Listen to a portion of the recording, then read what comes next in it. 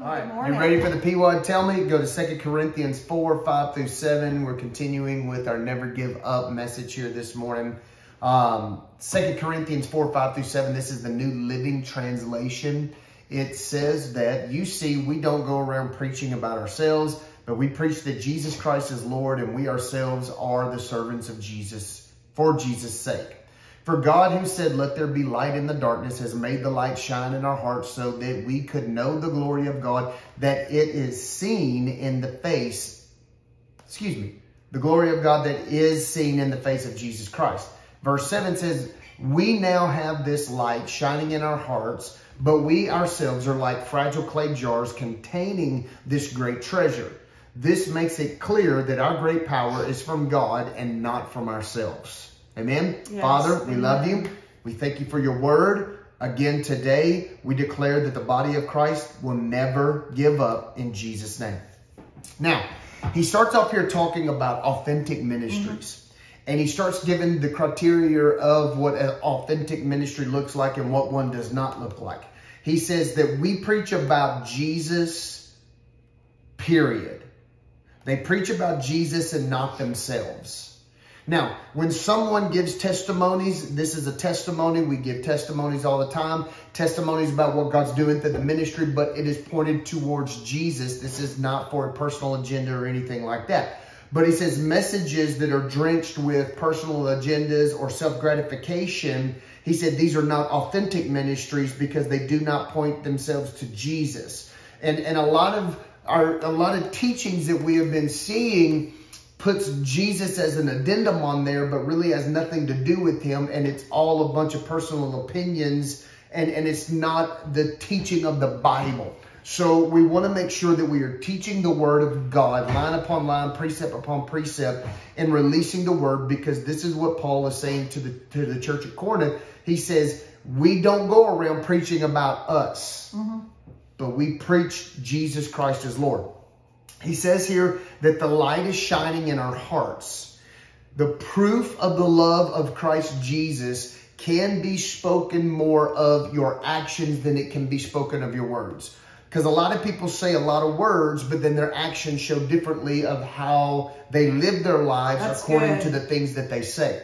So to the dying world, he says we have to be a light that is shining in these dark places and, and, and make it clear that the light that is living on the inside of us, being the light of Christ Jesus, that people will see that the power is coming from the Lord and it's not our own, um, influence or trying to show that through personal, you know, grat personal gratitude and strength and all of this that you can actually turn things around. No, it is through prayer. It is through Jesus. It is through the power of the Holy Spirit that we see signs, wonders, and miracles and things take place and we give all the glory to God. Then Second Corinthians chapter 4, 8 through 10. So let's go on down. We just read 5 through 7. 8 through 10, I want to take it and break it down a little bit because this is a scripture that a lot of people love to quote in church and love to put out there, but I don't think that we truly understand it. It says, we are pressed on every side by troubles, but we are not crushed. Um, I'm going to go ahead and say this right now. I don't think that the Church of America has ever experienced true tribulation.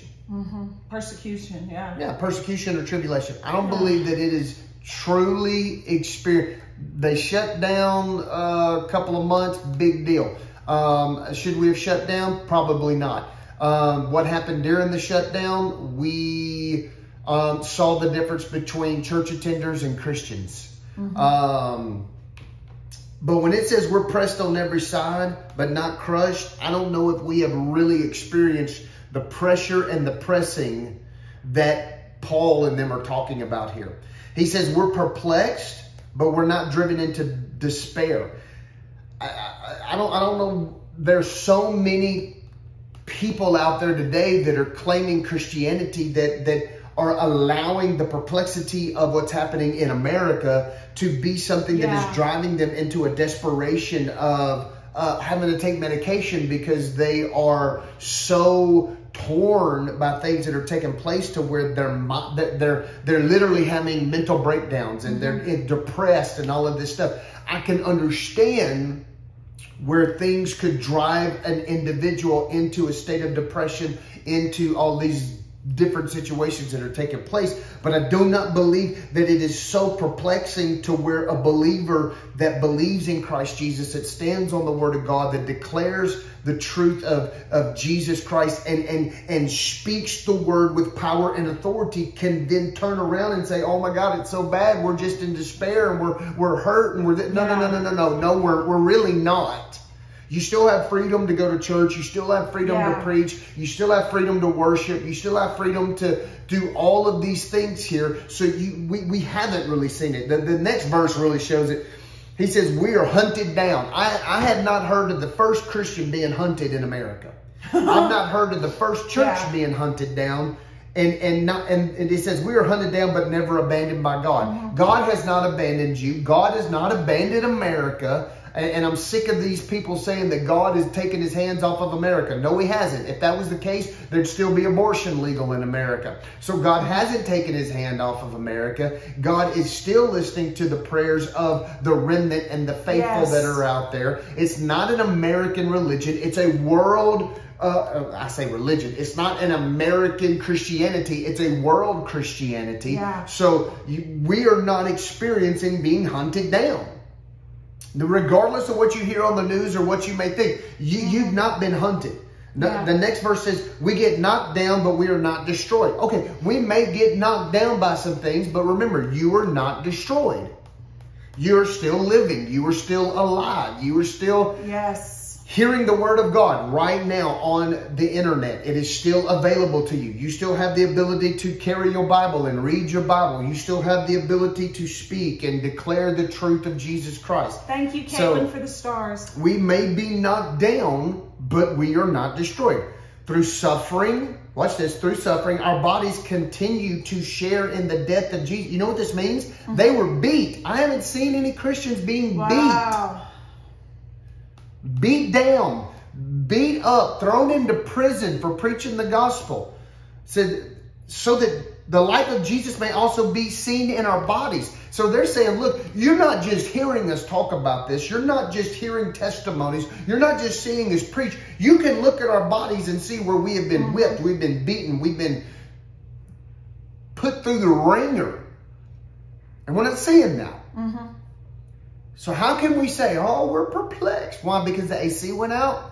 Preach. Because the sound system's not that good today? Mm-hmm. Somebody didn't show up to usher to take the offering or hand out, hand out a pamphlet? Um, we, we, we, 99% of the challenges we have in the church are self-inflicted due to personal agenda and people. Come on.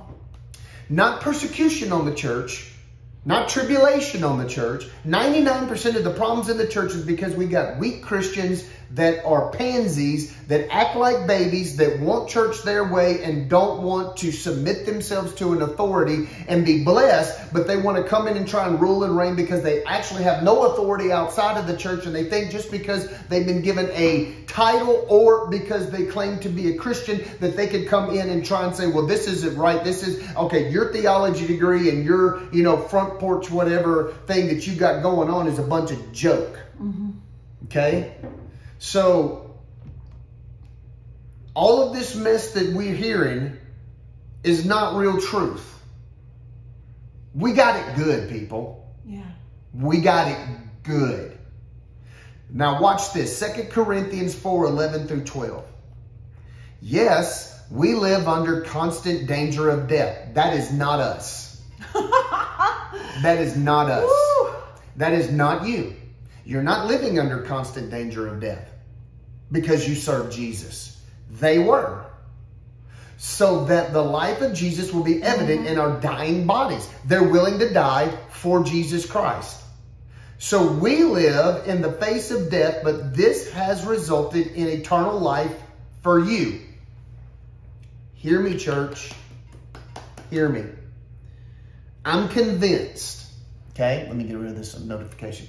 I am convinced that America would have less Christians if they were in danger of death of being a Christian. Because right now, Christianity is a social club of fun. It is a place where they can intermingle, come together, talk business, do all this stuff without any persecution or tribulation. If they were in true danger of being a Christian, over half or more than half of our church attenders would renounce Jesus to save their own lives or save their family members. Mm-hmm. I do not believe that what we have sitting in pews right now that are scared to talk to their family, scared to talk to their friends, scared to talk to a perfect stranger and ask them, do you know Christ as Lord and Savior?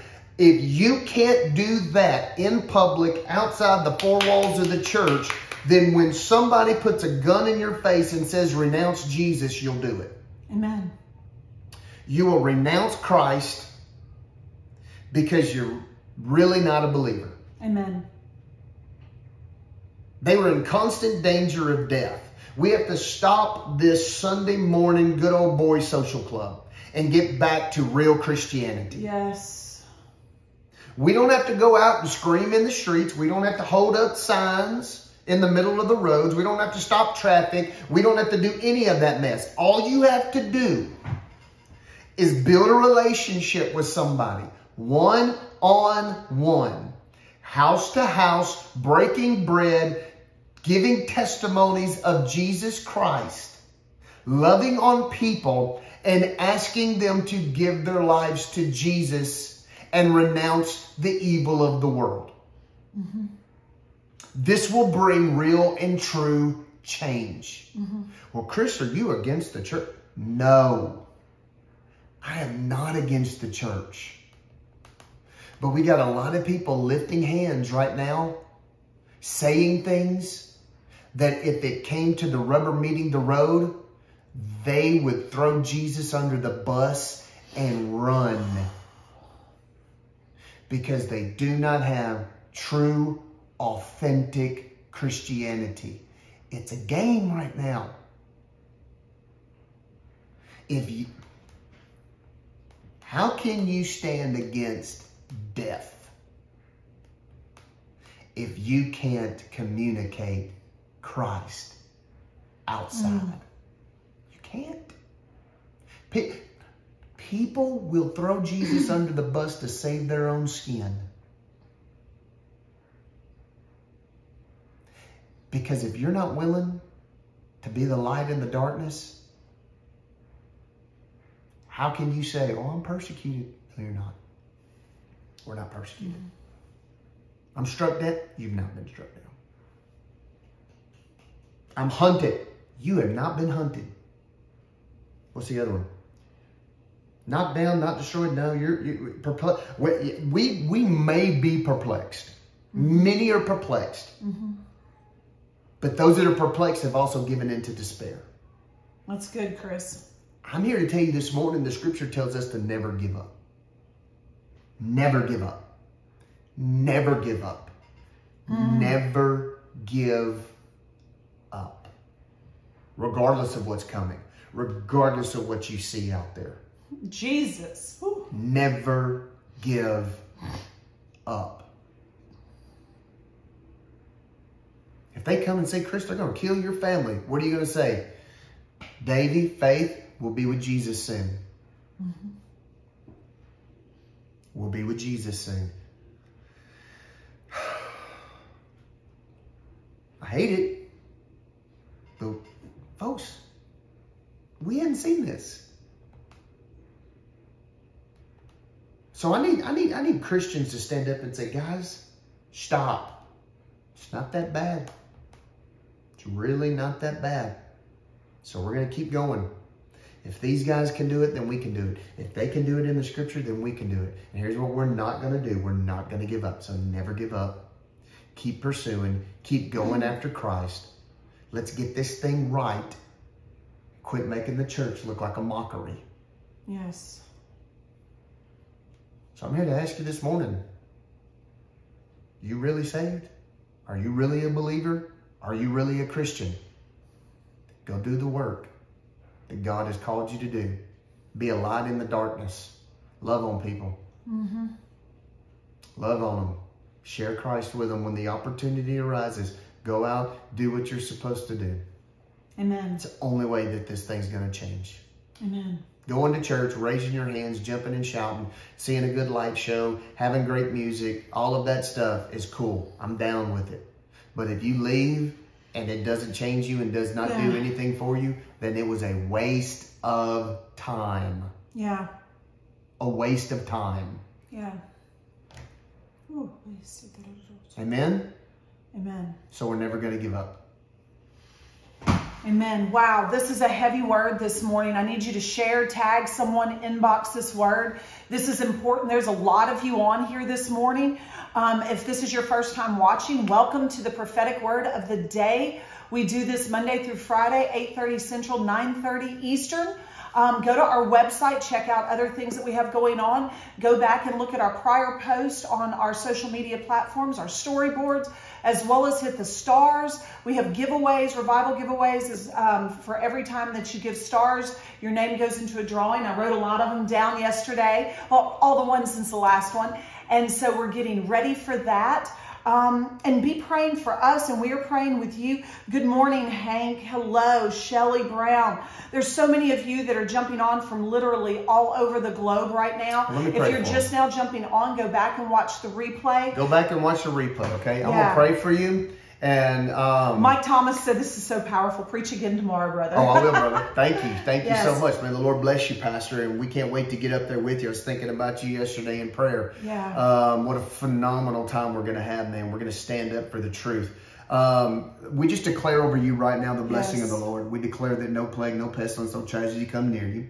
We declare that you have the mind of Christ and everything you say and everything that you do will be led by the power of your of the Holy Spirit. Uh, we ask right now, Lord God, that we would prosper and be in health even as our soul prospers. Every seed that is sown into the kingdom, let it be made manifest according to Deuteronomy 1 verse 11, a thousandfold back to you. Meaning that when you sow seed, God Yes. shall release a thousandfold blessing back into you we, when you do it into fertile soil. Yes. We declare over you that the seed of the word of God would go deep into the marrow of the bones Yes. of people. It will change them and they will give themselves to Christ as Lord and Savior. We love you this morning. Make sure that you go do that. Go partner with this ministry. Watch what God does with you when you say, I'll put God first and not my finances. Now remember, tithe to your church, but you sow seed here.